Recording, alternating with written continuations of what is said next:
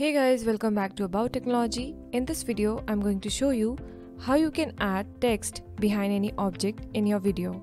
For this, we are going to use two methods. First is using qualifier and second is using masking. So let's start. Right now, I'm in edit mode and here I have a video of girl on trekking. My main aim is to add text behind this girl. So our main object in this video is this girl. If you can notice, other than girl, we have totally two different colors, a lighter color sky and a darker color of land and the girl. So now let's start. Copy this video and paste it on the timeline on video track 3, leaving the middle track for the text. Now to add text, go to effects window, select this toolbox, expand it and go to titles. In titles, you have to select basic title. Now drag this text and place it on the video track 2. Adjust the length of this text and done. Remember, we are not going to perform any editing on the video on track 1. So now let us select the video on track 3 and go to colors tab. Now in color tab from the toolbar that is present in the middle of screen, you have to select qualifier. It will display the qualifier menu. Now at this right side, you have different type of color picker like HSL which selects color by hue, saturation and luminance. Next color picker is RGB which picks color by red, green and blue. Next is luminance and the last one is 3D. We are more interested in the 3D color picker as this provides better result than others. As soon as you select the 3D color picker, it will activate the qualifier in the preview window. Now what you have to do is press the left mouse button and drag it over the sky as if you want to cover the whole sky. Now to see what portion of the video you have selected, just click this highlight. It will show you that entire sky in the frame has been selected. But wait, we are interested in retaining this ground portion. So what we have to do is invert the selection. To invert selection, we have to click on this invert icon present here. Now zoom into your video, you can notice still the traces of sky are present near our character. So what we have to do is set this pre-filter to minimize these traces and this clean black. Both the attributes will help in minimizing the traces of sky near our character.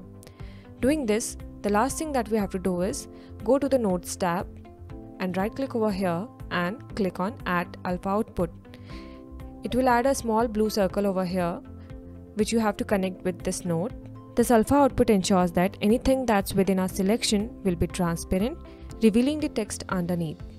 Now just go back to edit mode now we have to fix this text. Click on the text, go to inspector panel, in title, write the text of your choice. You can choose the font family.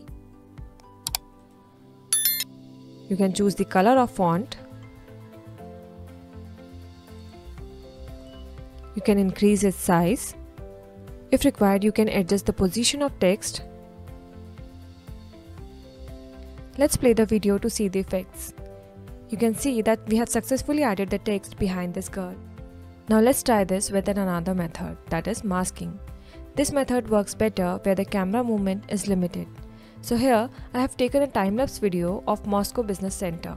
Just like previous method, we have to place the same video clip in the first and the third track of video timeline and leave the middle track for text. Now we'll add text, go to Effect, Toolbox titles and in titles we'll select basic title. Drag this text over here in the second video track, adjust its length and done. Now select the video in track 3 and go to colors tab. In the colors tab from this middle toolbar you have to select windows icon. It will display a window menu which will offer you different types of masking options. Here you have to select curve. Now go to video and go on creating nodes. Follow the shape of the object behind which you want to add text and join the last node to the first one to complete the masking. Now we must ensure that our masking follows the movement of object in the video. To observe this, click this tracker menu and this double directed arrows here. It will play the video in forward and reverse direction to check that mask is following the movement of object in the video. In my case, the object that we masked is still and it doesn't go out of the mask anywhere in the video. but in case if your object moves through the video, you can adjust the masking nodes, checking the video frame by frame using the left right arrow of your keyboard. Now above the preview window, click on the highlight icon. To see what portion of the video has been selected, you can notice the mask portion is selected and rest of the portion is faded out. Now the next thing that we have to do is add alpha output. So in the nodes panel, right click over here and go to add alpha output. Connect this node with the alpha output. Now deactivate this masking window and zoom into the video. You can notice that still there are traces of sky near the building. To fix this, go to window and here you can adjust the softness of the object. Doing this much, go to edit tab. Now we will end up setting this text. So click on this text, go to inspector panel. Here write the text that you want to display Select the font family. Adjust the size of the font. Scroll down below and fix the position of the text. Done. Now let's play the video to see the effects. You can notice the text has been perfectly placed behind these buildings. So that's it. If you like this video, please give it a thumbs up and if you want to see more videos like this in future, please subscribe our channel as it will notify you whenever any content like this comes out. Feel free to comment down below and let us know what other new videos you would like to see in future. Hope you enjoyed this video. See you next. Bye bye.